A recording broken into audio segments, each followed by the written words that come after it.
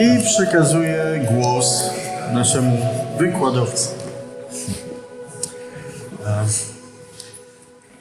Dziękuję serdecznie, że jeszcze parę osób zostało. Nie, rozumiem, że są różne sprawy, także nie, nie ma problemu. Nie, nie obrażam się. Y, Mam nadzieję, że było to zrozumiałe, co mówiłem do tej pory.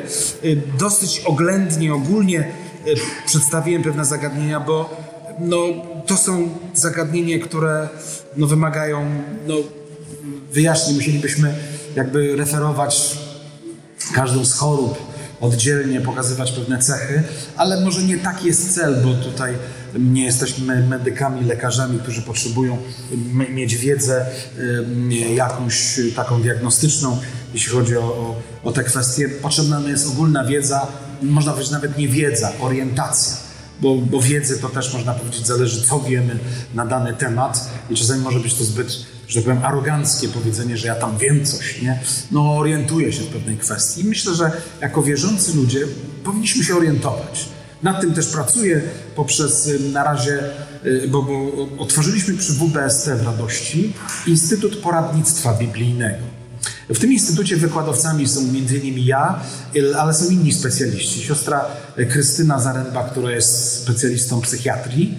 E, Jest też y, Ania Chmielecka, jest doktorem y, i, jednocześnie jest psychoterapeutką uzależnień i psychoterapeutką rodzin.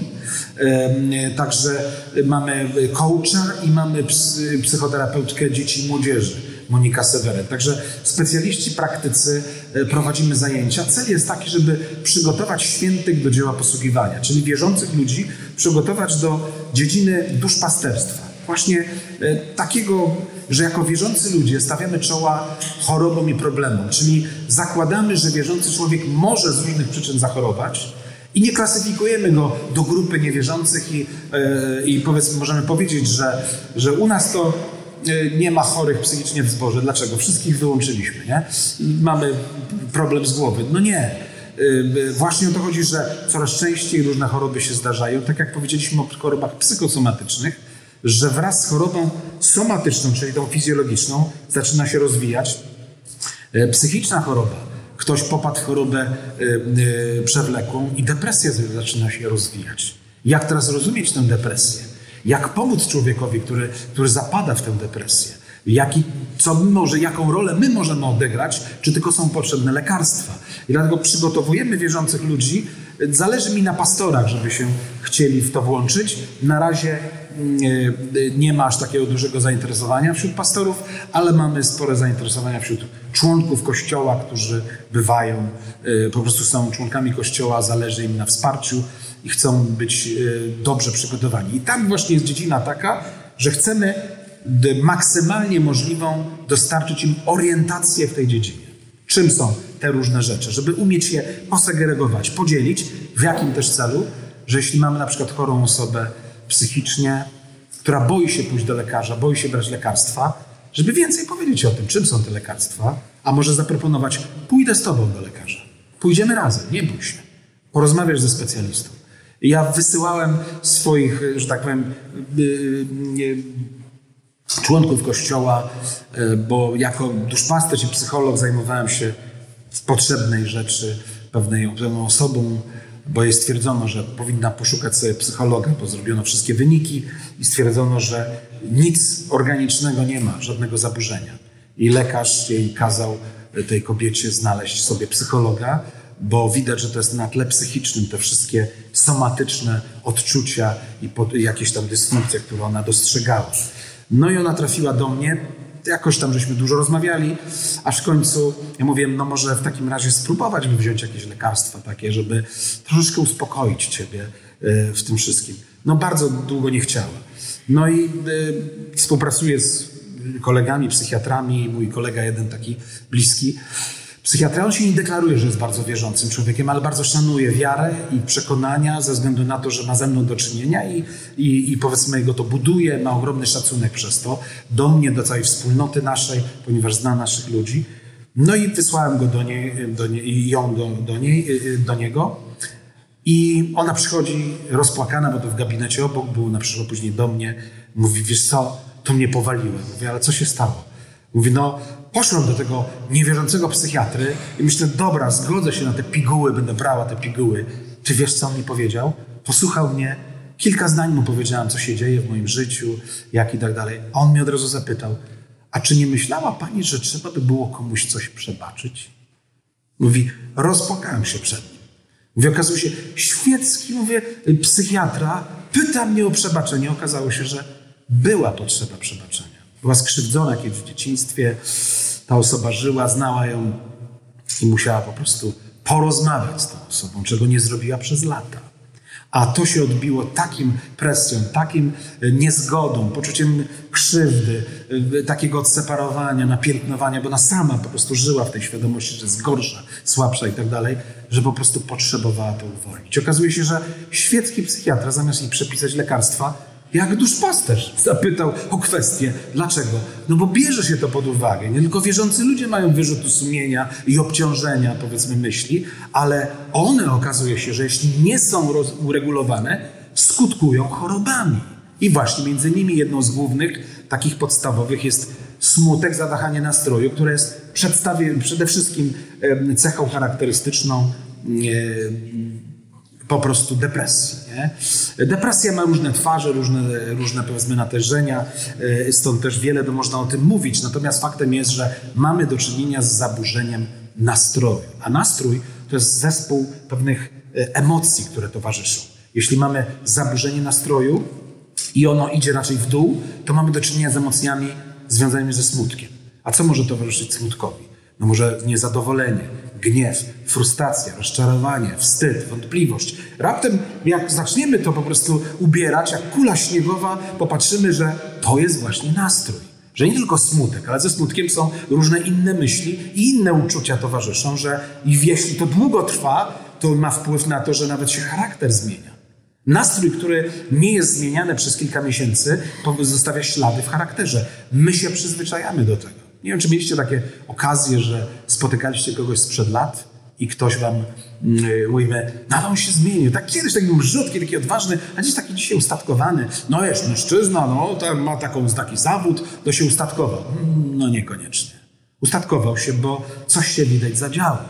Że nie jest w pełni sobą, jak był kiedyś, powiedzmy, bo coś się zadziało, że zaczął obniżać to. I są takie rodzaje depresji, jak cyklotymia czy dystymia, e, które nie mają silnych objawów e, wahań nastroju, ale mają tendencję do powolnego takiego obniżania. Cyklotymia to jest cykliczne wracanie co jakiś czas do zaburzenia takiego nastroju, a potem się odbija i idzie dalej. Nie? Ale dystymia to w ciągu nawet dwóch czy trzech lat może obniżać się ten poziom, że człowiek tak gaśnie troszeczkę na naszych oczach, a niektórzy mogą powiedzieć, no poważnieje, tak się wycofał, no to już swój wiek ma i tak dalej gadanie. No to porozmawiaj z nim, powiedzmy, co to jest. Czy rzeczywiście to związane z wiekiem jest? No, jak ma 40 lat i on tak poważnieje, trochę za wcześnie się robi stary, powiedzmy, nie? Bo, bo po prostu może się zgodził na to, czy nie chce mu się z jakichś innych przyczyn zrobić y, czegoś z tym. To są różne uwarunkowania, mógłbym tutaj mnożyć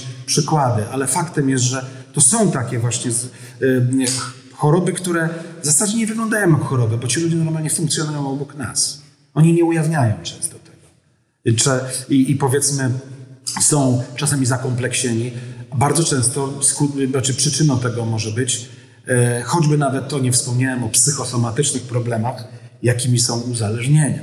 To jest jeszcze większy temat. Uzależnienia od substancji, alkohol, narkotyki, ale mamy również lekarstwa, gdzie ludzie samemu się leczą. My mamy kłopoty w szpitalu, gdzie e, niektórzy pacjenci z nami rozmawiają jak w restauracji, po prostu przy wyworze dań. Mówi, no ja bym tutaj klopiksolu to nie chciał, może Abilify, może bym wolał, nie. Co w restauracji? On, on sobie, on się zna na tym, bo on od lat się leczy.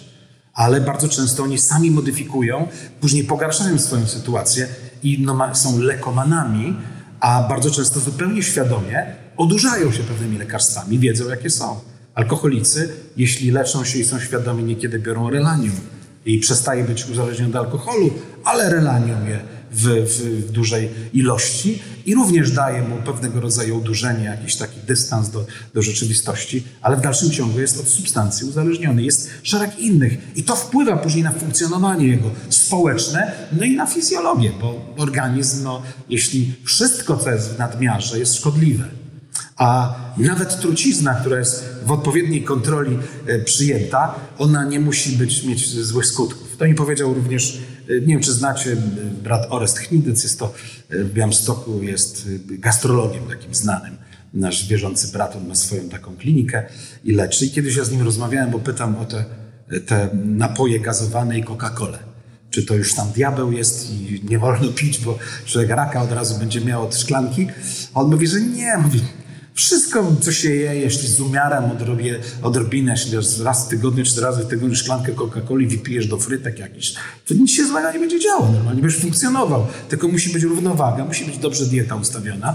I że mówi, no nie ma co demonizować. To nie jest jakaś trucizna od razu na dzień dobry. No staje się zła, kiedy jest w nadmiarze. Gastrolog to mówi, gdzie, i to jest prawda, że wszystko, i Biblia nam mówi, wszystko, co jest w nadmiarze, albo niedomiarze, czyli niewłaściwa ilość, ona jest szkodliwa. I to się dzieje również w tej, w tej dziedzinie. Zatem y, y, duszpasterstwo w przebiegu chorób psychicznych i dysfunkcji jest bardzo ważnym wyzwaniem. Ono przede wszystkim zaczyna się od dobrej świadomości, od wiedzy. Od wiedzy, która się nie boi. Bo to jest bardzo ważne, że poznawajmy Słowo Boże. Mi to bardzo pomogło, kiedy ja zacząłem studiować już jako teolog, jako pastor z, z długim doświadczeniem, jako duszpasterz, zacząłem studiować y, psychologię. I e, to mi pomogło, że wszystko, co słyszałem, ja od razu przeskanowywałem przez znajomość Biblii. Zaraz przypisywałem jakieś tam przypisy sobie z Biblii, jakieś fragmenty odszukiwałem, że myślę, Biblia przecież od dawna o tym mówiła. Zresztą patrzeć na, na pewne zagadnienia, które mówi mi nauka, mówiąc o pewnych aspektach diagnostycznych chorób czy dysfunkcji, patrzę, co Biblia mówi, jak, jak, jak Biblia to opisuje. Okazuje się, że Biblia jest księgą, podręcznikiem psychologii. Wezma przypowieści Księgi Mądrościowe, Księga Hioba, to już w ogóle jest podstawowy podręcznik, gdzie, gdzie możemy zacząć rozumieć naturę ludzką, wahania pewnych nastrojów, zmiana koncepcji, konstrukcji psychicznych, czyli myśli i tak dalej. To wszystko jest w tej Biblii. Ja, ja to odkrywałem i to jest bardzo ważna rzecz, żeby mm, umieć, i tym się zresztą kieruję cały czas, że e, próbuję konfrontować wszystkie pewne zagadnienia, które się pojawiają w tej dziedzinie z Biblią, z tym, co Pismo Święte o tym mówi. To wymaga niekiedy tego, że ja e, no, uczyłem się właśnie hebrajskiego i greckiego kiedyś, e, zatem bardzo często sobie na nowo zaglądam i próbuję sobie na nowo tłumaczyć pewne fragmenty i odkrywam w niektórych momentach, że słowa, które do tej pory są w niektórych tłumaczeniach użyte, one są poprawne jak najbardziej, ale w pewnym momencie y, okazuje się, że, że jak się tłumaczy pewne teksty, to czasami jest szereg synonimów. Tutaj specjalistą od języków jest wasz pastor, brat Robert.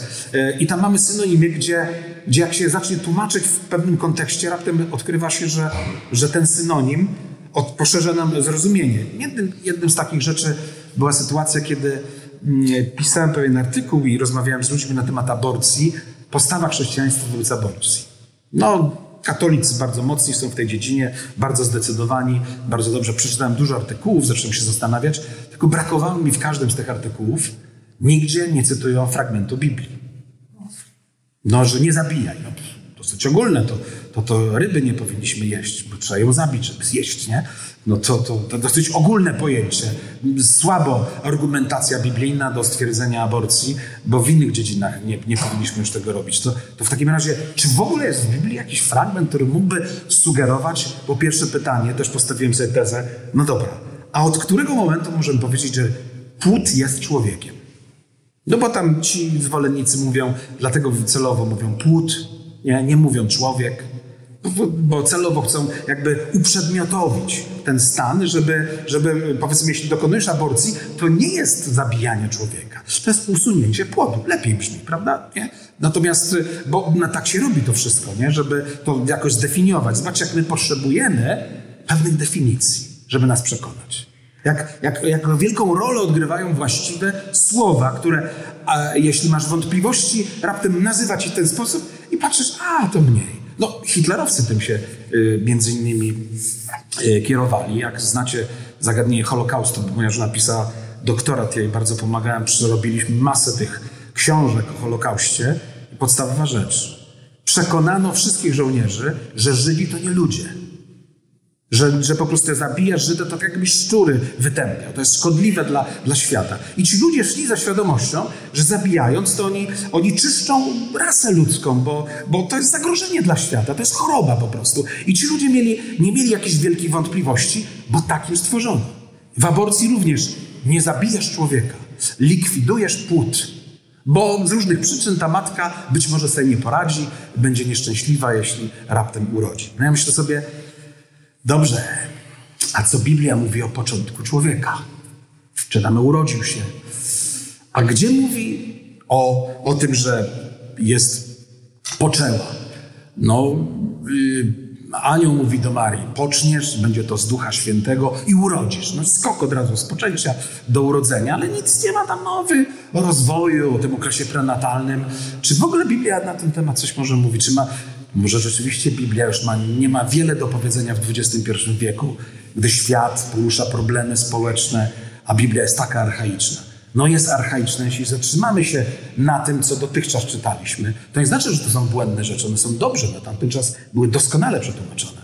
No ale teraz dlatego bibliści mają wielkie wyzwanie, żeby znów czytać tę Biblię, znów ją tłumaczyć z perspektywy tego, co ten świat dzisiaj mówi. Okazuje się, że nabieramy innego podejścia. To nie znaczy, że inaczej Biblię tłumaczymy.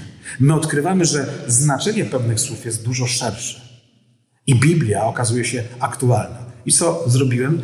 Psalm 139 czytam sobie i tam jest takie stwierdzenie, że żadna mość, kość moja, która powstała w ukryciu, nie była przed Tobie jakby nieznajoma czy, czy utajona. Nie? Myślę, o, proszę bardzo, jest. Jest werset. No nawet napisałem piosenkę do tego, na drugiej płycie chyba nagrałem, czy chyba na pierwszej. Z Psalm 139, że żadna kość, która powstała, czyli o proszę bardzo, już Biblia mówi o tym, że, że Bóg postrzega człowieka, gdy kości, gdy kości się rozwijają. No dobrze, a gdy one jeszcze nie są aż tak rozwinięte, to, to, to jest jeszcze nie człowiek? Bo niektórzy twierdzą, że póki mózgu nie ma, nie ma człowieka. No, ale co faktycznie Biblia mówi? Ale ja zaglądam, myślę, co z tą kością? Jak ona w oryginale tam w hebrajskim brzmi, co to jest za stwierdzenie? Okazuje się, że kość z kości mojej jest troszeczkę innym słowem użytym, oczywiście pochodnym, rdzeń jest ten sam, natomiast okazuje się, że ta kość w psalmie 139 może być nazwana substancją. Tymczasem okazuje się, że zaraz, zaraz, y, to nie musi być y, kość nawet, może być substancja, która powstawała w ukryciu przed tobą. Czyli ja tak patrzę sobie, no tak, dziwnie by to brzmiało w XIX wieku czy XX, bo przecież Kościół to nie laboratorium, nie? tylko po prostu yy, no, nie, nie użyje się takich słów. Ale dzisiaj, kiedy dyskutujemy na tym poziomie i próbujemy obronić wiarę, a nam się zarzuca, że nie ma podstaw biblijnych, raptem mamy podstawę biblijną. Bo to Biblia mówi bardzo konkretnie. Nawet jeśli potrzebujesz, to jeśli znajdziesz pewne synonimy, znajdziesz powiedzmy w tekście biblijnym, gdzie Bóg ma to również na myśli. Wiecie, w Biblii Gdańskiej bodajże jest y, substancja albo istota. I tam jest na przykład istota moja, która powstawała w ukryciu, nie była tobie y, tajemnicą. Nie? I raptem okazuje się, że tam tłumacze nie wprowadzili kości, ale istotę co bardzo ważne ma znaczenie w tym procesie dyskusyjnym, że, że po prostu y, tam się szuka argumentu, że Biblia nie odpowiada na ten temat, da, zatem daje przestrzeń wolności, a my jednak twierdzimy, nie, nie daje przestrzeni wolności. Człowiek jest od początku człowiekiem, od momentu poczęcia. I Biblia nazywa go istotą po prostu. Gdzie jeszcze nie nazywa kości, nie musi nazywać kości pewnych szczegółów. I o tym mówię poznanie, poznanie Słowa Bożego. Trwanie, dlatego jak najbardziej zachęcam wierzących ludzi, to robimy w WBST i mamy takie instytuty, gdzie nie trzeba studiować, żeby zdobywać jakieś tytuły, ale studiują ludzie po to, żeby rozwijać swoją wiedzę biblijną. I mamy Instytut na przykład Biblistyki, gdzie pan, pan Piotr Zaremba między innymi tłumacz, y, prowadzi, gdzie po prostu ludzie wierzący chcą pogłębiać wiedzę biblijną i tam właśnie między innymi się też, staje się też na bazie badania czy uczenia języków oryginalnych, poznaje, żeby wiedzieć, co naprawdę Biblia mówi. I jak wiele ma nam do powiedzenia, jak bardzo jest aktualna w stosunku do problemów człowieka w XXI wieku. I to jest mój fundament, gdzie na tym stoję, a teraz rozwijam się w wiedzy psychologicznej, w wiedzy leczenia psychiatrycznego, bo pracuję na takim oddziale. Próbuję rozumieć te różne metody leczenia farmakologiczne, bądź też terapeutyczne, albo powiedzmy jakieś inne technologiczne, czyli elektrowstrząsy, które również się stosuje i są bardzo skuteczne. I próbuję to rozumieć i widzieć. I kolejna rzecz, próbuję umiejscowić, co się dzieje, jeśli człowiek wierzący jest. Czy w ogóle może to dotknąć wierzącego? A jak dotyka, to co się dzieje? Czego to jest objawem? Odkryłem, że y, y, choroba psychiczna zawsze ujawni się kryzysem wiary. Będzie kryzys wiary, ale to niekoniecznie może być, y, jedno i drugie może być pierwotne. Bo może być choroba psychiczna spowodować kryzys wiary. Ewentualnie kryzys wiary może być oznaką tego, że pojawiają się pierwsze objawy jakiegoś zaburzenia y, oceny sytuacji. Bo jeśli chodzi o psychiczne kłopoty, to jest problem polega na tym. Biorąc pod uwagę depresję, mamy zaburzenie w ocenie w zrównoważonej i obiektywnej ocenie rzeczywistości. Kiedy weźmiemy pod uwagę jednobiegunową obniżoną nastroju, zaburzenie polega na tym, że mam skłonność do tego, że ja wszystko widzę negatywnie.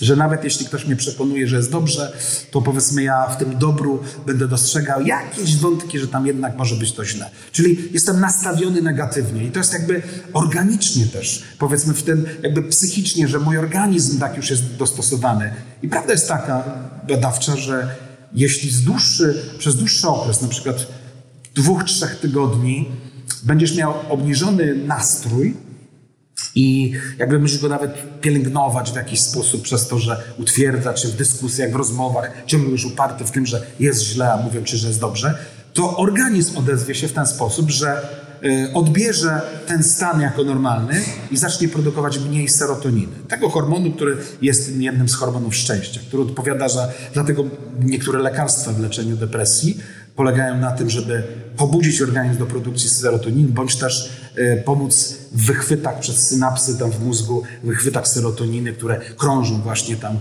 e, z krwią w mózgu, bo czasami jest blokada, że, że serotonina jest na dobrym poziomie, ale e, mózg nie wychwytuje tego i stąd są te obniżenia nastroju. I teraz jeśli my dłuższy czas jesteśmy w stanie smutku, przygnębienia, nic z tym nie robimy, to organizm może się nastawić do tego, że uzna to za normę i nie produkuje tego. Co to oznacza? Że potrzeba jest wtedy wprowadzenia lekarstw. Że samo mówienie, rozmawianie, psychoterapia, zachęcanie, głaskanie po ręce nie pomoże. Na chwilę może tak, ale potem znowu wracamy. Dlaczego? Organicznie brakuje tych rzeczy. To tak jak w innych dziedzinach, w innych chorobach, powiedzmy, mamy nadwyżki cukru, powiedzmy, czy, czy obniżenie cukru. Po prostu nie da się słowami, yy, grając piękną muzykę, postawić klauna przed kimś, żeby kogoś rozbawić, że zmienił mu się nastrój. Nie zmienisz tego. Możesz wywołać uśmiech, który będzie maską yy, na tę chwilę, ale organicznie on potrzebuje interwencji. Dlatego są potrzebne lekarstwa. I oczywiście one też nie rozwiązują wszystkiego. I, i, I, nie ma lekarstw na szczęście, że tak powiem. No nie ma lekarstw, które by idealnie leczyły.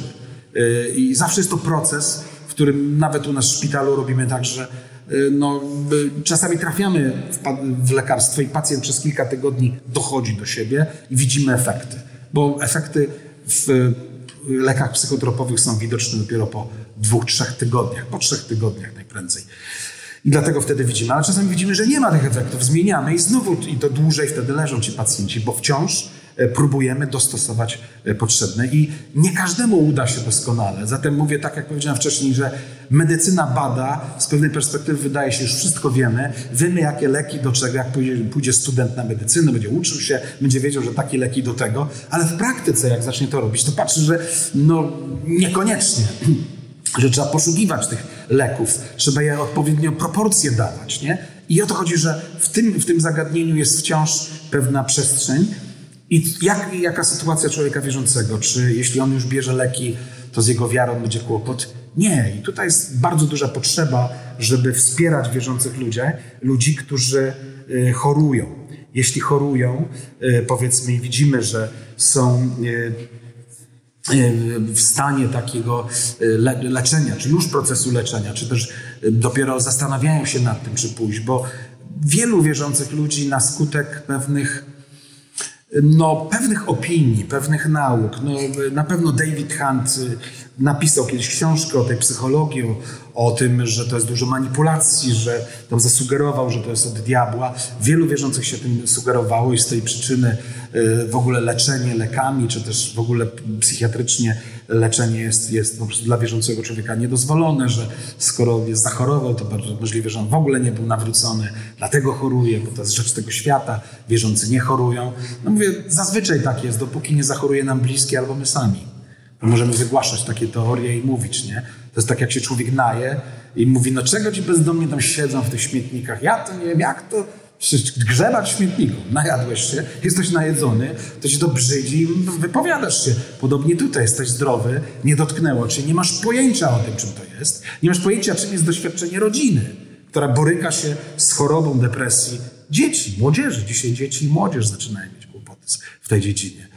I, i e, ktoś mówi, fanaberia, to pasa kiedyś dałby w tyłek i już by było wszystko w porządku, tam wybiłby wszystko pasem. No, były to jakieś metody, czy bardzo skuteczne, no nie wiem.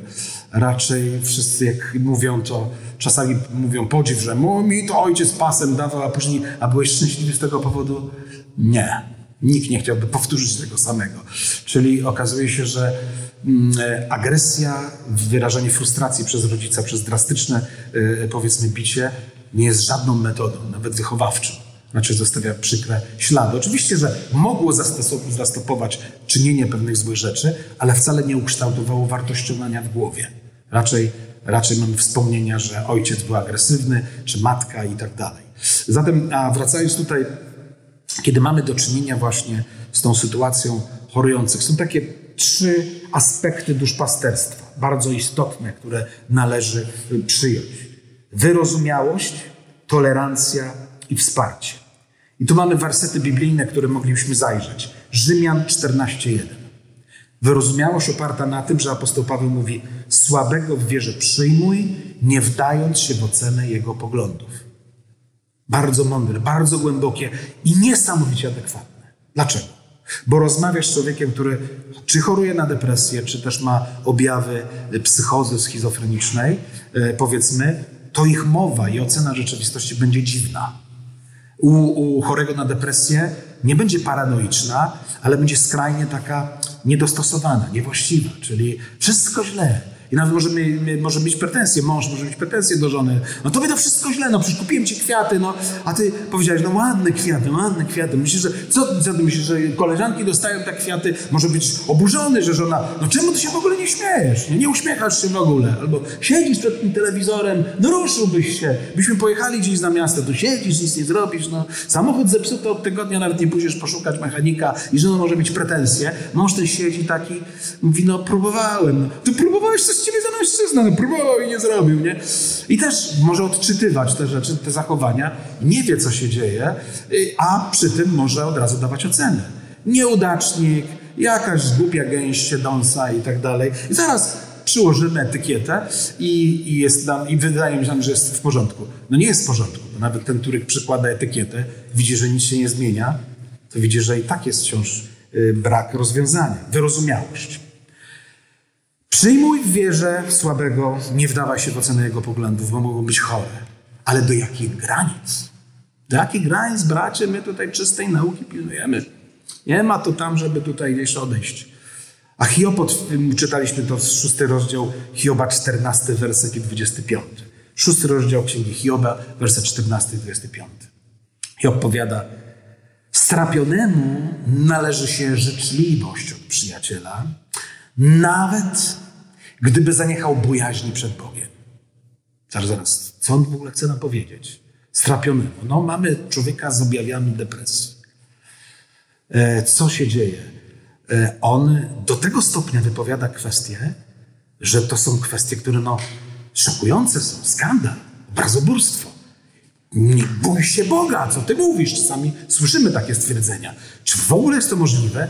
Ale Hiob mówi, należy mu się wyrozumiałość, należy mu się powiedzmy, e, powiedzmy jakieś współczucie, nawet gdyby zaniechał bojaźni przed Bogiem. Czyli nie potępienie, nie wdawanie się w dyskusję, nie ocenianie, nie przytaczanie wersetu, o uważaj, uważaj, bo z każdego nieużytecznego słowa będziesz yy, osądzony. No to na to, no to rzeczywiście jest argument. Pan Jezus tak powiedział. To jak to połączyć? To Hiob mówi, że, że należy się wyrozumiałość, a Pan Jezus powiada, że z nieużytecznego słowa będziemy sądzeni. To co tu się dzieje? No to, to ten, ten wstrapiony ma milczeć, a, a potrzebuje się wypowiedzieć? No i Hiob dalej, 25 werset odpowiada. Czyż słowa strapionego na duchu nie idą na wiatr? I to pokazuje nam właśnie boską sprawiedliwość i miłosierdzie. Tam Jezus ma rację. Bo to w stosunku do tych, którzy świadomie wypowiadają bezmyślnie słowa, ale są ich świadomi, bo chcą coś powiedzieć, a może chcą kogoś zranić, wypowiadając te słowa. Natomiast tu jest mowa o tych, którzy cierpią i mówienie jest środkiem nawet leczenia. Bo na czym polega dzisiejsza psychoterapia? Ona polega na tym, że cię psychoterapeuta prowadzi, żeby wyciągnąć z ciebie, żebyś umiał nazwać to, co czujesz i co myślisz. I czasami dlatego długo trwa. Rozmawiamy, następne spotkanie wydaje się w kółko o tym samym, aż jesteśmy zdenerwowani. Pan no ciągle w kółko o tym samym. On mówi, no bo jeszcze nie doszliśmy do sedna. No ale o co panu chodzi, nie? No ja miałem taką sytuację, że pewna studentka zawiesiła się w uczeniu, już farmaceutka, bardzo dobrze, wszystko fajnie szło, nie mogła zdać ostatniego egzaminu i napisać pracy. No i przychodziła przez wiele miesięcy, też się zastanawiałem, co się dzieje. No, zawiesiła się. Wszystkie wcześniej przedmioty dobrze zdane. No co się dzieje? Rozmawiamy, rozmawiamy, rozmawiamy i tak spotkanie, sesja za sesją, aż w końcu pewnym momencie pęka i mówi, że była molestowana przez wujka, jak była mała. I co w związku z tym? Mama kocha bardzo wujka ponad życie. I powiedziała mi wtedy, oj tam, oj tam, daj spokój. Mówi, ja nie mogę od tamtej pory się pogodzić z tym, że po prostu to doszło, a moja mama to zaakceptowała. Kobieta w wieku 20, ilu tam, 5 lat czy 4, raptem okazuje się, że doszliśmy do sedna, że była po prostu wciąż ciążyła. Miała różne związki, które nie wychodziły jej. W, w, jakoś tam poszła z mężczyznami e, żonatymi, e, próbowała tworzyć jakieś związki. Ciągle wszystko się rozwalało. Myślała, że życie się jej rozpadnie. Doszliśmy do tego punktu. Poszła dramatycznie, porozmawiała z rodzicami. Matka żyła Okazało się, że chyba siostra też miała podobne rzeczy, bo już jej młodsza siostra próbowała odebrać sobie życie. Głęboko się działy te, te kwestie, e, ale w jakiś sposób rozmawialiśmy i rozmowa pomogła wydobyć z dna, wyskrobać z tego przypalonego dna garnka naszego serca ten zgorzel, który ciągle tam siedział. I później za jakiś czas, bo okazało się, że że to była osoba, która znała jakiegoś brata w danym mieście, bo oni mieszkali tam gdzieś pod Warszawą. I kiedyś ten brat na konferencji przychodzi do mnie, pozdrawia ciebie ta i ta pani. Farmaceutka ma dwoje dzieci, udane małżeństwo i prosiła, bo wiedziała, że ciebie znam, żebyś pozdrowił. Po latach dowiaduje się, że ta osoba zdała egzamin, założyła y, rodzinę, ma, jest szczęśliwą, tak, tak przynajmniej zostało stwierdzone. Czyli coś pękło. Dlatego rozmowa jest bardzo potrzebna. I tu mówi właśnie, okaż wyrozumiałość, nie wdawaj się w ocenę poglądów. Nie wdawaj się. Pozwól, niech mówi. Niech nawet bzdury wypowiada. Nie, nie dyskutuj, nie mów, że bój się Boga, co to powiesz, ale to nieprawda. Dlaczego postaw pytanie, czy jesteś pewien, twierdząc, że tak jest, że rzeczywiście to jest prawda? Może tobie się tylko tak wydaje, bo tutaj trzeba ludzi uczyć, czy mamy fakty, czy mamy wrażenia. Bardzo często się posługujemy na podstawie wrażeń. A wrażenie to jest to, że możemy popatrzeć, że jak ktoś przychodzi nastawiony tak, no nie wiem, jak oni mnie przyjmą, jak oni będą patrzeć, te miny takie, o, tamten siedzi, taką minę, chyba mnie nie lubi. No i co to jest? Są fakty? Nie. Faktem jest to, że ma jakąś twarz. Może jest zmęczony, niewyspany, ale co do interpretacji tej miny, to już są moje wrażenia. I teraz, jeśli nie porozmawiasz, to bardzo często tak się będzie. Y, może tak być, że później spotykają się, a był Krzyszek dzisiaj na obrazie, był, był, a jakiś siedział taki posępny. Ty, ja też zauważyłem, znowu chyba mu się coś nie podoba. Tak, on to ciągle marudzi, nie? I już ustalili diagnozę, że Krzysiek był, miał smutną winę, bo marudzi. Nikt nie zapytał go. Potem ktoś poszedł, rozmawiał z Krzyśkiem, on mówi, a wiesz, dzisiaj niewyspany jestem, ale jestem wdzięczny Bogu, bo udało się wiele fajnych rzeczy zrobić, nie? Okazuje się, że Krzysiek miał smutną minę, bo był zmęczony fizyologicznie i wyspany. Ale był zadowolony, tylko nikt o to nie zapytał. Etykieta stworzona? Stworzona. Na jakiej podstawie? Fakty? No ale jeśli ja z bratem ustalę coś, to jak wola Boża. Czasami tak jest, że plotki tak są ustalone i tak są wzmacniane, że, że nie ma inaczej jak tak, jak nam się wydaje. Wrażenia. Dlatego nie wolno tego dopuszczać, że były wrażenia, dlatego bardzo ważne są pytania. Czy pewien jesteś? Kto to powiedział? Na czym to polegało? Czy widziałeś to? Czy dotknąłeś? Fakty, fakty, fakty, bo fakty są prawdą. Bardzo często, jak przeprowadzicie rozmowy, zobaczycie, że z całej oceny rzeczywistości tych faktów będzie niewiele, a większość co będzie? Wrażenia. Co to jest wrażenia? Wydaje mi się, no mam takie odczucia. No masz prawo. My mamy prawo do swoich wrażeń, tylko musimy wiedzieć, że bardzo często wcale one nie są prawdziwe. No, czy nie mieliście tak, że idziecie ścieżką ciemną, porusza się krzak, myślicie, uff, jakiś zwierz, a jeszcze niedawno słyszeliście, że jakiś grasuje wilkołak, czy ktoś tam, już strach ma wielkie oczy, za chwilę patrzę, błag, wyciekł i wyleciał jakiś, powiedzmy, zając, czy coś tu wypadło. Myślę, ale dlaczego tyle emocji było? No, zając, zając. Ale dlaczego było tyle emocji? Skąd to się wzięło? Wrażenia. Fakt to to, że się trząsł krzak. Ale resztę co było za tym? To są moje wrażenia uczynione przeze mnie. I warto siebie nawet zapytać, co się tam dzieje. Co to może być? Ten krzak się rusza. Może to pies, może coś tam, nie? Jak zaczniesz pytać, rozsądnie myśleć, to przestajesz się nawet bać, zaczniesz przyglądać się, idziesz ostrożnie, bo nie wiesz, czy duży, mały pies, czy co tam jest, nie? Popatrzysz, ale inaczej do tego podchodzisz. Natomiast jeśli tylko wrażenie, no to sobie robisz krzywdę, a tutaj, jeśli zamiast wyrozumiałości patrzysz, no mam wrażenie, że człowiek odchodzi od wiary. No takie rzeczy mówi, że, że Bóg zawodzi. No gdzież tam? My przecież wierzymy, że Bóg w ogóle nie zawodzi, że Bóg nie słucha modlitw. No nieprawda, Biblia mówi, o, proszę bardzo, ile modlitw został wysłuchany ten brat. Ja to widzę, że on tak chyba odpadnie od kościoła w ogóle. No, może nie ma co tam, wiesz. Nam potrzeba silnych wierzy, nie takich ludzi tam będziemy ciągnąć. Już możemy stwierdzić i w ten sposób potraktować kogoś, kto ma wątpliwości. Hiob mówi, apostoł Paweł mówi, słuchaj, no na tym polega właśnie, że masz wysłuchać, nie wdawać się w ocenę. Masz stawiać pytanie. Ja wielokrotnie to odkryłem, że stawiając pytania, E, zacząłem rozmawiać z mężczyzną, który tam miał, narzekał na żonę i tak dalej. Nie, z kobietą. Pamiętam, że ona tak mówiła, że zastanawia się, czy ma rozwieść ją, czy nie. No tego, przyszła tutaj po poradę, bo tam te huśtawki nastrojów. A ja zacząłem pytać o różne szczegóły, jaki ten mężczyzna jest, jaka ona jest, czy zawsze super się zachowuje wobec niego, czy, czy on się dobrze zachowuje, czy, czy, czy może go za coś podziwiać i tak dalej. Rozmawiałem w pewnym momencie, pan co? Ja tak z panem rozmawiam. Ja tak pomyślałem sobie, ale ja jestem okropna. Zaraz, ale co się stało? Ten mój mąż wcale taki zły nie jest. Ja tak się zastanawiałem nad sobą. Raptem się okazuje, że pytaniami, ja, to nie ja powiedziałem, że ona jest okropna. Ona sama wiedziała, ale stawiając jej pytania i ona szukając odpowiedzi na to, raptem zobaczyła swój obraz.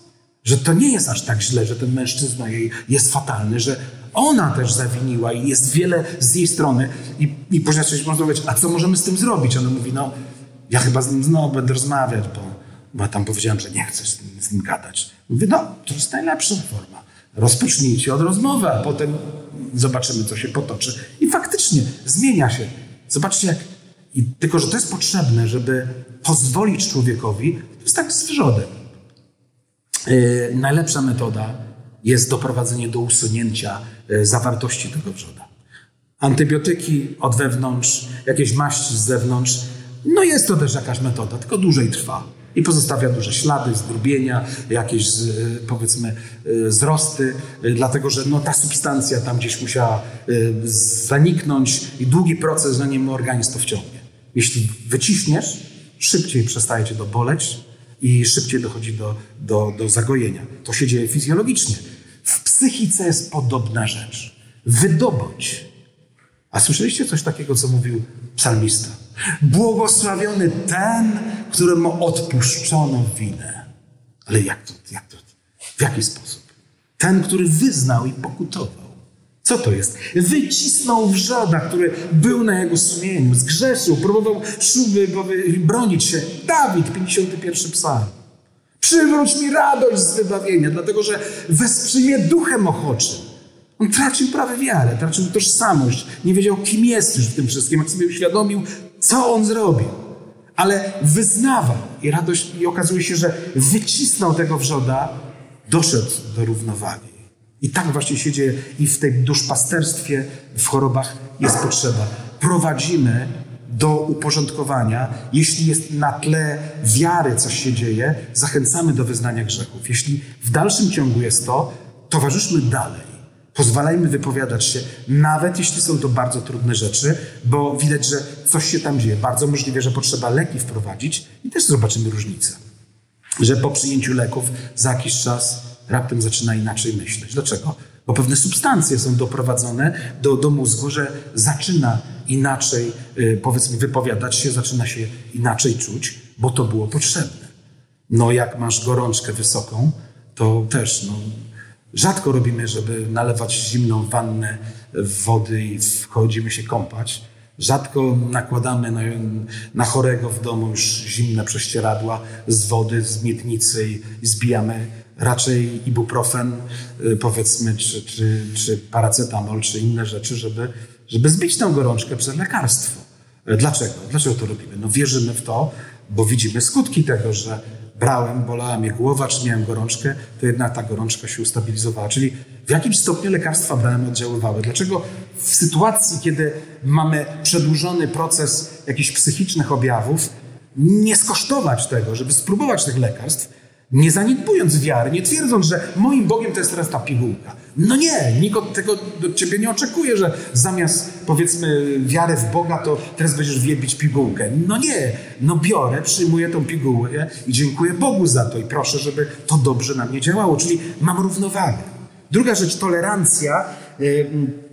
Tolerancja to jest to, że. Czym jest tolerancja? Tolerancja nie jest akceptacją. Bo czasami tak się oczekuje y, tolerancji na przykład wobec praktyk homoseksualnych. Tolerancja tu i tak dalej. Y, no tak, oczywiście, że no, Pan Bóg nawet nam zabrania, byśmy mieli ludzi wrzucać do piekła i palić ich żywym ogniem za życia. Y, nawet jeśli postępują niezgodnie z wolą Bożą, to nie mamy ich potępiać. Mamy zwiastować dobrą nowinę i zachęcać do pojednania z Bogiem, ale nie powinniśmy tego robić. I to jest tolerancja, że ja toleruję, że nawet toleruję osoby, które nawet mają odmienne przekonania, nawet sprzeczne z moimi. Tylko, że ja nie atakuję ich, nie niszczę, nie zamierzam ich skrzywdzić. Akceptacja to jest, że się zgadzam. Zgadzam się na to, że to jest, że tak już musi być, niech już będzie, jak on sobie życzy. To ja akceptuję to. No nie, my nie mamy akceptować grzechu. Mamy tolerować grzesznika, Grzechu nie mamy akceptować, ale brak akceptacji dla grzechu też znowu nie oznacza, że my mamy wytoczyć świętą wojnę przeciwko temu i go niszczyć. My mam, możemy powiedzieć w momencie, kiedy ktoś ode mnie oczekuje, że ja mam to w danym momencie zaakceptować, że mam się na to zgodzić. Bo wtedy ja powiem, że nie, tego nie zrobię. Tak jak niedawno w pewnym, pewnej rodzinie pewien człowiek przyszedł i mówi, że bo y, pewna rodzina była bardzo przyjazna, przyjmowała pewnego gościa. W pewnym momencie ten człowiek e, okazał się, powiedział, że jest homoseksualistą a że bardzo się przyjaźnił z tą rodziną. No oni byli tolerancyjni, oczywiście mówią w porządku, ale tym razem on chciał, żeby przyjechać ze swoim chłopakiem, żeby na parę dni pomieszkać sobie tutaj, skorzystać z ich pokoju, żeby pochodzić. No i w tym momencie oni powiedzieli, okej, okay, rozumiemy ciebie, że masz takie swoje odczucia, przekonania, ale wybacz, na to się nie zgadzamy. Nie udostępnimy naszego mieszkania dla ciebie i twojego przyjaciela. To już musisz sobie Twoje, to są Twoje przekonania, Twoje potrzeby, Twoje y, zachcianki. Rób jak uważasz, ale na własny rachunek. My tolerujemy y, Ciebie, szanujemy takim, jakim jesteś, ale nie zgadzamy się na taką praktykę. I odmówili po prostu, że nie przyjęli. No brak gościnności. No, no nie jest brak gościnności. Po prostu jest to tolerancja, ale z niepoddawaniem się manipulacji do zmuszenia akceptacji, bo to jest dosyć istotna rzecz. I dlatego y, tolerancja tolerujemy, że chory może mieć bardzo zły obraz Boga, bo czuje się dotknięty, czuje się niesprawiedliwie. Poczytajcie Hioba, usłyszycie, co on ma, na, na jakie opinie, a poczytajcie koniec tej księgi i dowiecie się, że Hiob nie zgrzeszył żadnym słowem swoim. Coś takiego. Hiob wypowiadał, i to jest właśnie przykład tego, że słowa zrozpaczonego idą na wiatr. Czyli Bóg nie zapisuje i później na sąd pozwie, no ty jak tam cierpiałeś, to bardzo nieładnie się do mnie odezwałeś. No nie. On widzi, że serce boleje, że to jest ból. To nie są istotne słowa w tym momencie. I dlatego Hiob tak został potraktowany przez Boga, że Bóg uznał to za ból, e, który ma, ale przy tym Hiob mówi bardzo piękną rzecz. I to zobaczcie, znów ta kwestia z tymi chorobami, cierpieniami, że one są założone w planie boskim dla naszego życia. Że nie garć tym, ale odkrywaj błogosławieństwo. I on powiada, do tej pory znałem Boga ze słyszenia, ale przez to doświadczenie poznałem Go twarzą w twarz. To no muszę chodził na jakieś worship serwisy, tam tańczyli, modlili się, piękne pieśni, poruszające że pląso przez godzinę. O, i ludzie mówią, że dzisiaj mieliśmy obecność Boga. Czasem ją oglądam, słucham, bardzo lubię tą muzykę, bardzo lubię tę atmosferę. No nie zgadzam się z tą kwestią, kiedy przekonują mnie, że dziś doświadczyliśmy obecności Boga tutaj. No, na pewno w jakimś stopniu tak. Ale nie na podstawie tego, że się świetnie czułeś, to znaczy, że tego Boga było więcej dzisiaj. Bo Biblia przeczy temu. Nie mówi, że Bóg bliski jest tym, którzy świetnie Go uwielbiają i w tym momencie łapią jakąś ekstazę emocjonalną i czują, że Bóg jest blisko. No nie znalazłem takiego wersetu. Oczywiście, że Bóg mieszka w chwale Izraela. Należy Go wielbić bębnem, plosaniem, tańcem. To należy czynić. Ale co do bliskości czytam, Bóg bliski jest tym, których serce jest złamane. Którzy są skruszeni w duchu. Paradoks, zaraz. Bardziej bym uwierzył, że właśnie w takiej podniesionej atmosferze, modlitwy, pieśni, jakiejś ekstazy, że, że tak człowiek od, od, oddala się od tego świata, tak, tak wyobraża sobie, że jest blisko Boga. No tu jest bardzo blisko. Tak, jest blisko, ale to nie jest najlepsza i najbliższa forma. Bóg powiada, że On jeszcze bliższy się staje, bo tutaj jesteś w społeczności, a gdy cierpisz, zazwyczaj jesteś sam. I Salomon powiada, nikt nie zna ludzkiego cierpienia jak jego własne serce. Czyli cierpienie jest bardzo indywidualną kwestią. I, I, Biblia odkrywa, że Bóg jest bliski tym osobom. Dlatego to jest też nasza rola, okazywanie tolerancji i cierpliwości, żeby mu uzmysłowić, że w tym podłym doznaniu, które w tym momencie przeżywa, którego sobie nie życzy i za to ma żal do Boga, Bóg jest blisko. Paradoks. Jak może być blisko? Ja się tak fatalnie czuję, a on jest blisko. Spróbuj zaufać temu, że jest. Wylej serce przed Panem, jak mówi Dawid też, wylewajcie serca przed Panem. Wylej. Powiedz. Bóg się nie boi żadnego słowa. On nie boi się słuchać Twoich argumentów. Mów wszystko, co czujesz i myślisz. Bóg się tego nie boi. Duszpasterz również powinien pozbyć się tego bólu, bojaźni, że, że usłyszę coś, co mnie poruszy. Nie, nie bój się. Idziesz w imieniu Boga, Jego miłosierdzia i wsparcia. Za tego człowieka Chrystus umierał na krzyżu. Jest cenną wartością. Idziesz walczyć o to, żeby jego dusza nie była spętana i zmęczona do końca życia przez diabła. Bo o to diabłu chodzi. Żeby Kościół był wielbiący liturgicznie, a żyjący w rozpaczy. Że niby wierzymy w Boga, ale przegrywamy w codzienności w różnych sprawach. Nie ma w nas radości, nie ma nadziei. Wtedy głosimy ewangelizację, jakbyśmy chcieli zepsuty towar nieaktualny sprzedać komuś. I to nie idzie, i ludzie nie są zainteresowani. Dlaczego? No bo nie ma w nas życia. Dlaczego nie ma tego życia? Bo wejrzyj w siebie, zobacz, jesteś wdzięczny Bogu za to, co masz. Czy wdzięczny jesteś za to, że On jest blisko Ciebie? Czy doświadczasz, że On jest blisko Ciebie? Czy dostrzegasz Go w tym wszystkim? I to jest właśnie umiejętność spojrzenia. Duszpasterz jest taką osobą. Nie mówię tutaj o pastorze. Duszpasterz to jest rola każdego, bo Biblia mówi, zachęcajcie siebie nawzajem. Y, a Hebrajczyków powiada, że bądźcie na tyle wrażliwi, żeby zauważyć, żeby nie było między wami, y, między wami kogoś, kto ma złe, niewierzące serce. To jest taka wrażliwość społeczna, że patrzymy, złe, niewierzące serce. Co to znaczy złe, niewierzące? Które było odpadło od Boga. A między nimi może jest ktoś smutny, może ktoś mówi, nie, i po co te modlitwy? I tak Bóg nie odpowiada, się modliłem, nic nie było. Proszę, mam męża, tyle lat proszę, a on, alkoholizm się pogłębia, jest życie nie do wytrzymania. W ogóle mnie nie słyszy. Ja nie chcę wracać do domu, bo będzie miał do mnie pretensje, a ja się modlę do Boga i nic, i nic, i nic. Gdzie jest ten Bóg? No i co odpowiesz na to? No powiesz, ja się cię pomodlę. No to pomódl się. Ale niech to będzie skuteczne, że ona wróci do domu i ten mąż nie będzie na nią huczał, jej groził albo robił awantur. I właśnie dochodzi, że tu dotykamy pewnie czasami ludzi, którzy mają bardzo uzasadnione powody. Nie jesteś w stanie nic powiedzieć na to, że po prostu jest, żyje w piekle. W piekle swojego małżeństwa z uzależnionym e, mężem. Odwrotnie też w różnych innych konfiguracjach to się dzieje w domach. To jest bardzo bolesne, bardzo trudne. I teraz wierzący ludzie, będąc w tym, to nie jest dziwne, że on nie ma radości. To nie jest dziwne, że mu się nie chce tańczyć dla chwały Pana, bo on próbował parę razy to zrobić, ale patrzy, ten taniec niczego nie zmienił. Wracał do domu i było źle, tak samo jak było. To co mam z tym zrobić? Nauczyć się dostrzegać Boga w tym doświadczeniu, że jest przy mnie.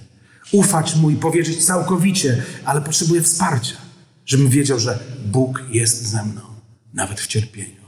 I pokazać mu co? Ogród Getsemane, krzyż Golgoty. Boże mój, czemuś mnie opuścił? Opuścił Chrystusa, czy nie opuścił? Teologiczny może być temat do, do dyskusji. Może jednak to było Chrystusowe wrażenie na podstawie ciężaru grzechów, które na nim spoczęły. Że oddaliły go od Boga, podczas gdy Bóg się wcale tak daleko nie oddalił, ale musiało się wykonać, że musiał ponieść karę za grzech całego świata, który na nim spoczął. A to spowodowało, że Jezus czuł odseparowanie od Ojca i dlatego powiedział. Ale odseparował go na długo? Zmartwychwstał. I dał mu imię ponad wszelkie imię, czytamy. Nie? Czyli właśnie pokazać te rzeczy. Dlatego tak, zobaczcie, poznanie Słowa Bożego, rozważanie Słowa Bożego w procesie y, terapeutycznym, y, powiedzmy, jest bardzo ważne, ale ukazanie pod tym względem. Dotykanie, rozważanie, zauważanie pewnych treści w Piśmie Świętym, które są odzwierciedleniem tego, co ten człowiek może czuć że jest oddalony, nikomu niepotrzebny, że jest wierzącym drugiej kategorii, że nie ma dla niego już nadziei, że Bóg nie słucha jego modlitwy, że jego modlitwy nic nie znaczą. To wszystko kłębi się w głowie, te wszystkie emocje się gotują, a ty masz pokazać, że to nic, że tak się dzieje. On jest blisko ciebie. On ciebie kocha. I twoja obecność, duszpasterza, ma duże znaczenie. Kiedyś czytałem taki artykuł o misjonarzu, który był w Brazylii i zajmował się pracą wśród biednych ludzi na ulicy. I tak pracował i patrzył, ile biedy, ile cierpienia, ile zła. Po prostu piekło na ziemi. Jak popatrzył na tę biedotę, na te dzieci, które muszą kraść, robią złe rzeczy, psują swoje życie od, od początku. I on tak chodził po tych ulicach i którejś nocy modli się rozpa- zrozpaczony i mówi: Boże, mówię, co ty robisz?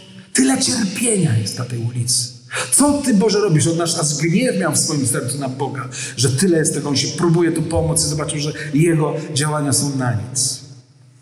I mówi, że usłyszał e, odpowiedź. Ciebie posłałem. I ten człowiek mówi, że w tej nocy zmieniło się jego nastawienie. Że nie szedł tam, by zobaczyć problemy i wołać Boże pomóż, tylko zobaczył, że On jest boskim ramieniem. On jest uosobieniem obecności Pana. Czy to jest biblijne? Czy nie przesadziliśmy tutaj? No, 2 Koryntian 5 rozdział. Apostoł Paweł powiada, w miejsce Chrystusa poselstwo sprawujemy. Czy rozumiesz, że nie ma jednego namiestnika, który mieszka w Rzymie? To tak niektórzy sądzą, że on jest namiestnikiem Chrystusa. Ty i ja jesteś namiestnikiem Chrystusa, jeśli jesteś osobą wierzącą. I między innymi posłaną do tego, by współczuć tym, którzy cierpią. Ale nie tylko po to, żeby ich pocieszyć, Dlatego, że mogą powstać z kolan czy z upadku, otrzeć otarte rany i iść do przodu. Dlaczego? Dlatego, że oni mają również misję. Odkrywam to, bo kiedy prowadzę pewne terapie, zauważam pewne rzeczy i czasem mówię na początku, w nadziei oczywiście, nie mówię jako wyrocznia prorok, ale wychodzi na to, że chyba jestem czasami, gdzie mówię, słuchaj, jesteś dzisiaj w tym problemie, dlatego że Bóg nie chce jedynie ci pomóc, żebyś był uzdrowiony i złapał równowagę, czy nauczył się żyć z tą chorobą, ale jesteś dzisiaj w tym problemie, wiesz dlaczego? Dlatego, że Bóg ma dla ciebie misję do spełnienia. Ty będziesz uzdrowiony niedługo. Złapiesz tę równowagę, nauczysz się żyć z tą chorobą, ale celem Twoim nie będzie tylko delektowanie się tym, że jest, lepiej się czujesz, ale będzie to, że, że spotkasz ludzi podobnych Tobie i będziesz ich doskonale rozumiał, jak nikt inny. Dlatego, że będą doświadczać tego samego, czego Ty doświadczałeś i byłeś złamany z tego powodu. Dlatego Bóg dzisiaj ma taki plan dla Twojego życia. I słuchajcie, tak się dzieje, że ludzie dochodzą do równowagi i zaczynają widzieć, że to jest moja misja. W naszym ośrodku, gdzie mamy tych około 100 tych ludzi bezdomnych i z 30 jest inwalidów, obcinane nogi w ogóle, bo tam przemrożone w alkoholizmie i tak dalej. Dzisiaj mamy pracowników, część z pracowników są ci, którzy kiedyś byli naszymi podopiecznymi. I kiedyś ja wchodzę do obiektu, smród taki, bo tam przywieźli gościa, był strasznie zaniedbany.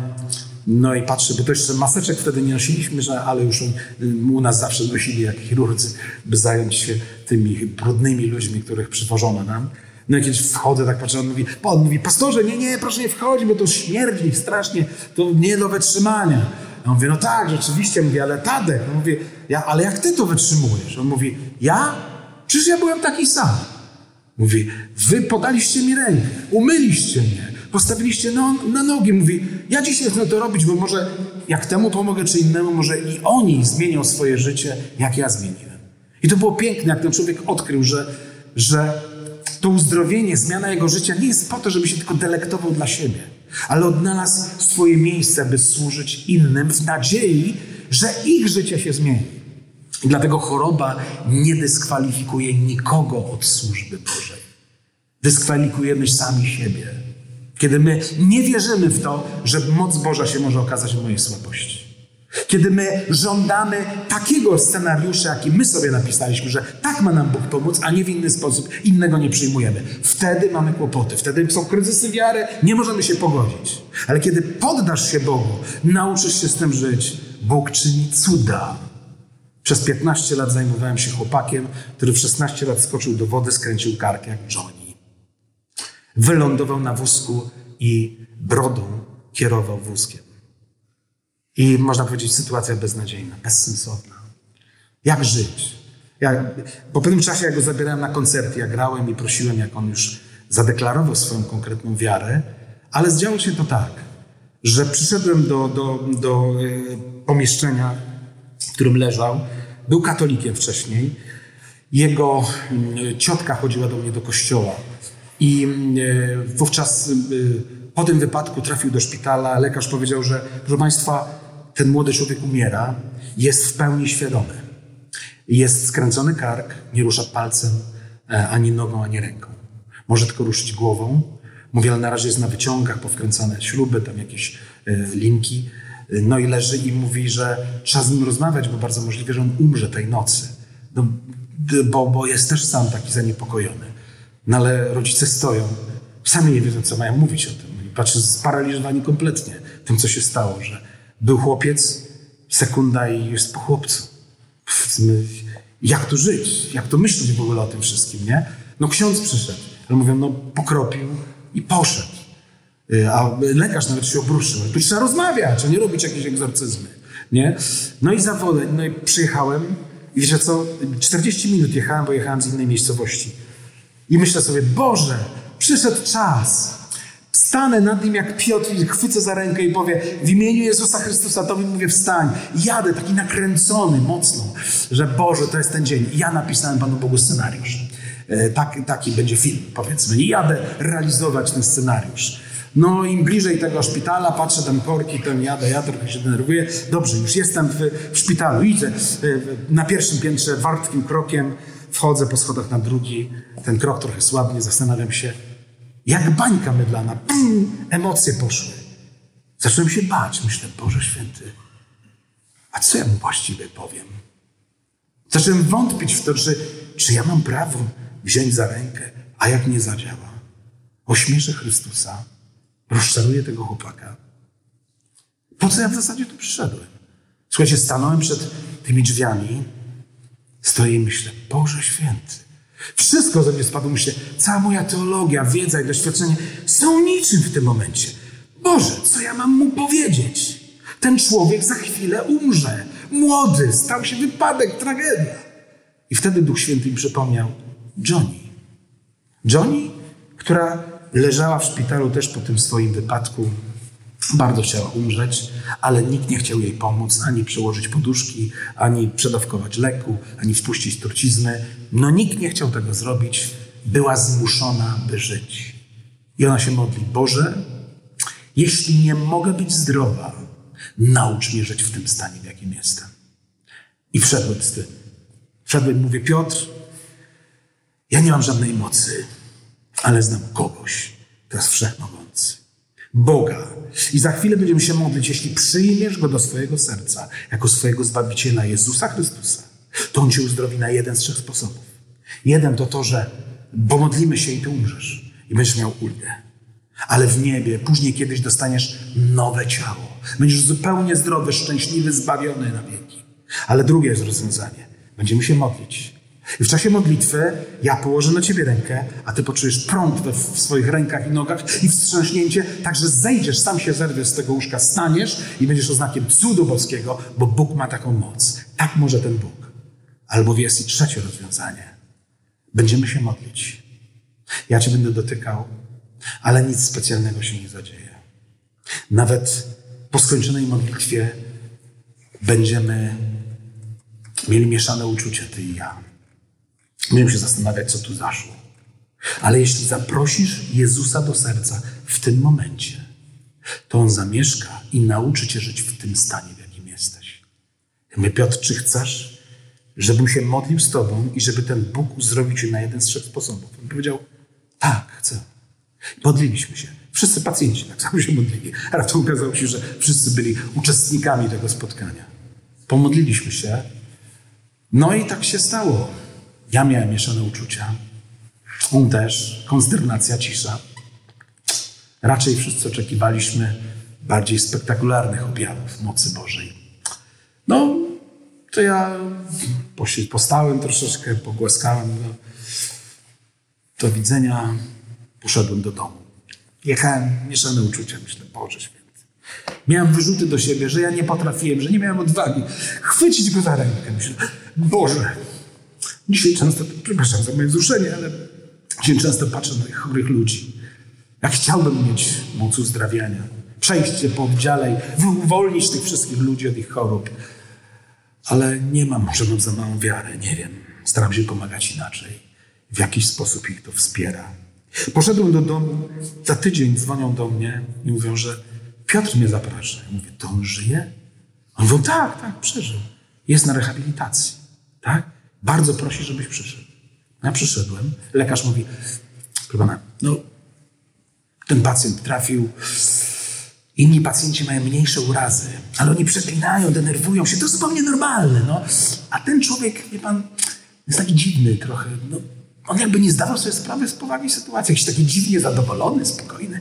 Ja sobie myślę, Boże, to Jezus. Wchodzę do Niego, patrzę, on jest uśmiechnięty. Leży. Mówię, o, dziękuję, że przyszedłeś. Mówię, ja bym chciał, żebyś mi więcej opowiadał o tym Bogu, do którego się modliliśmy. Od tamtej pory zaczęła się 15-letnia przygoda, gdzie tego człowieka później ochrzciłem, zabierałem go na koncerty, opowiadał o prawdziwym sensie życia.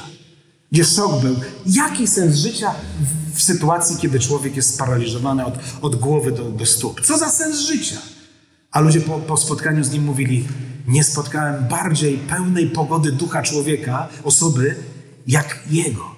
Nauczycielki, które przychodziły do niego, wychodziły z płaczem, mówią, że wstyd mi, bo ja się martwię z różnych drobiazgów. Podczas gdy ten człowiek ma tyle wiary, tyle nadziei, będąc w takiej beznadziejnej sytuacji. Słuchajcie, on skończył maturę, e, licencjat i magistra, pisząc ustami przez komputer i obsługiwał komputer, pracując zawodowo przez internet. Przeżył 15 lat, podczas gdy lekarze mówili 7, góra 10, organy, serce nie wytrzymają. 15 lat. Lekarz mówi, no musiał mieć apetyt na życie. Ja przepraszam, jaki można mieć apetyt na życie na wózku w takim stanie? Bo lekarz nie wiedział, czym to było, że obecny Jezus w życiu człowieka sprawi, że choroba nie musi przeszkadzać w tym, żeby się zrealizować w tym, do czego Bóg powołuje. Wyobraźcie sobie, że owoc tego człowieka, jego wiary, był tak silny, że to ziarno, które on zasiał, wykiełkowało po trzech latach.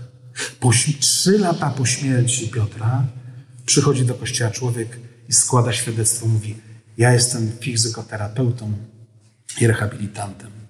Przychodziłem do Piotrka, żeby go masować. Mówi, rozmawialiśmy dużo. Mówi, dzisiaj chciałem powiedzieć świadectwo, że, że zrodziła się we mnie wiara, nawróciłem się. A to przyczyną było to, że byłem u tego człowieka, widziałem go, dotykałem, słuchałem i widziałem, co się dzieje w jego życiu. Nawrócił się człowiek. Zobaczcie, owoc powstał kilka lat po śmierci tego chłopaka. Zobaczcie, i to jest to. To była niesamowita przygoda. Mam gdzieś tam film, bo w drugim programie polskiej telewizji nagraliśmy kiedyś ten film. E, to jest zgoda na, na dar życia.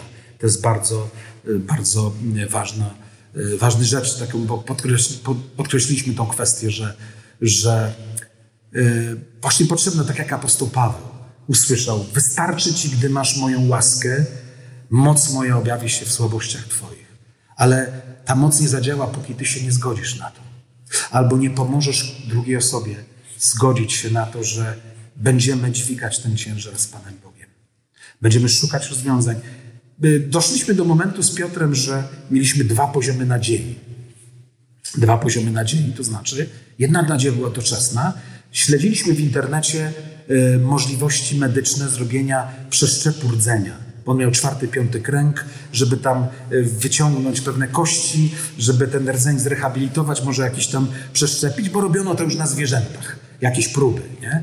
Ale dowiedzieliśmy się, bo nawet złożyliśmy papiery i profesor powiedział, że jesteśmy obecnie na etapie przy możliwości przywrócenia 5 do 10%, ale z ogromnym ryzykiem śmierci. I on sam już rozmawiał z nim chyba bo mi to mówił Piotr. Mówi, że on był zasugerował, że proszę jeszcze poczekać, pan się rehabilituje, bo faktycznie też wykorzystał sytuację, że szkoła rehabilitacyjna zgłosiła się do niego i za darmo mu zaproponowała, że będą na nim robili zajęcia ćwiczenne. Codziennie przychodzili, go rehabilitowali, a uczniowie ciągle go masowali. W ten sposób te mięśnie, które nie pracowały, wciąż były w ruchu. I stawy, bo wszystko robiono palce, tam wiem, że zginali mu wszystko, także codziennie był jakby przygotowany do tego, że gdyby wróciło zdrowie, to jego mięśnie będą mogły funkcjonować. One tam nie zanikną, nie zostaną. Także to był jeden poziom nadziei. Czekamy na możliwości medycyny. Modlimy się o to, żeby były. Rozmawiamy w tym kierunku, robimy wszystko, co możliwe. Medycyna mówi, za duże ryzyko, wolelibyśmy nie, może poczekajcie jeszcze rok, dwa. Czekamy rok, dwa. Przychodzi moment, że y, ja chorowałem, troszkę byłem taki zmęczony, dosyć myślałem, że będę miał jakiś tam zawał czy wylew, tak się kiepsko czułem. No i zacząłem z nim rozmawiać, tak pomyślałem sobie, o co będzie, no umrę, jeszcze no, jak to, on mówi, że nie chce z nikim rozmawiać, że, że ze mną chce. No to poczytajmy troszeczkę o śmierci, o tym, co będzie dalej. Zaczęliśmy czytać, studiować te słowa. No on wtedy zaczął mieć zapaści. Karetki przyjeżdżają, reanimują go i tak dalej. Ale co ciekawe, że jak rozmawialiśmy o przyszłości, o nowym Królestwie Niebios, o nowym ciele, o obietnicach, o śmierci, czym jest dla człowieka wierzącego, tak modliliśmy się, to miał oczy tak błyszczały, jakby dowiedział się, że pojedzie na wycieczkę do Izraela. Po prostu, że, że żył taką nadzieją związaną ze śmiercią. I ciotka ta wierząca przychodzi do niego, mówi Piotrek, ty nas nie strasz, nie wygłupiaj się, weź się w garść, tu ciągle karetki przyjeżdżają, weź się w garść, musimy coś tu zrobić, żebyś ty się lepiej czuł. Mówi, ciocia, daj spokój, ja się nie boję śmierci. Przestań, co ty gadasz. Mówi, nie, nie boję się śmierci. Ja wiem, komu zawierzyłem. Mówi, ja tylko jedno proszę, żebym umarł przez sen. Ach, gadasz. Tydzień od tej rozmowy umarł i przez sen. Tak spokojnie, że matka mówi, Żyłam przez 15 lat z wizją i myślą, jak, bo wiedziałam, że on kiedyś umrze. Ona bardzo się nim opiekowała. Jak ja to zniosę? Jak ja przeżyję tę jego śmierć? Ona mówi, bałam się tego bardzo. I mówi, nie wiedziałam, myślałam, że ja po prostu odejdę od zmysłów. Mówi, ty wyobrażasz sobie, co się stało? Wstałam, dotknęłam go, on jest zimny. Nie wiem, co się stało, ale miałem taki spokój w sercu. Bo jakoś dziwnie byłam zadowolona. Ja zadzwoniłam do siostry, zadzwoniłam do innych, przyjechali tej nocy wszyscy, a ja siedziałam spokojna, patrzyłam na niego. Jakieś nie było żalu, mówi rozpaczy, jakiejś histerii. Mówi, ja się tego bałam przez te lata, a mówi, a byłam taka spokojna. Bóg również i w to wyposaży. I to jest, to jest historia, gdzie, gdzie, gdzie właśnie podejście takie, że byłem z człowiekiem, z którym widywałem się raz do dwóch razy w tygodniu przez 15 lat. On później zaczął przyjeżdżać na nabożeństwa, słuchał kazań, uczestniczył w nabożeństwach, brał udział w koncertach, żyliśmy razem. Jak planowaliśmy pewne rzeczy, to powiedzmy załatwienie samochodu, żeby wózek przewieźć, było jak rozmawianie o tym, nie no, założymy kalosze, bo deszcz pada, lepiej kalosze załóżmy. Czyli nie było przywiązywanie wagi, że ojej, ale to wózek, ach szkoda, że ten wózek. Nie, po prostu jest. On to zaakceptował, że jest.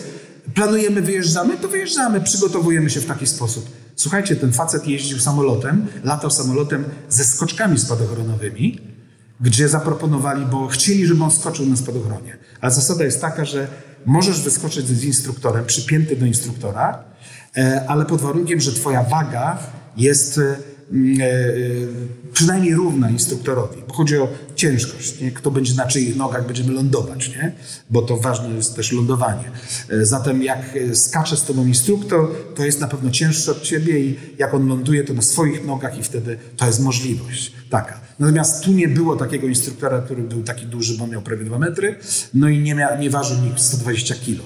No, mówią, no szkoda, ale uznali, że go przypieli w otwartym samolocie, bo taki dwupłatowy samolot był, e, stary taki dosyć, i otwarte drzwi boczne, on był przypięty w tych drzwiach, trochę wystawał, jedna kamera na niego, druga była na jego kasku i każdy z spadochroniarzy go klepał, wyskakiwał i, i odpinał czasze i lądowali. I on cały czas miał udział w tym, widział to wszystko, jak to się dzieje, bo oni machali do niego jeszcze tam lecąc, powiedzmy, i on to widział, i on to przeżył. Mówię, proszę bardzo, bariery, no ja jeszcze nie latałem, nie robiłem. No nie wiem, czy aż tak bardzo chcę. ale, ale powiedzmy, ten człowiek zaczął sięgać po różne rzeczy w jego życiu.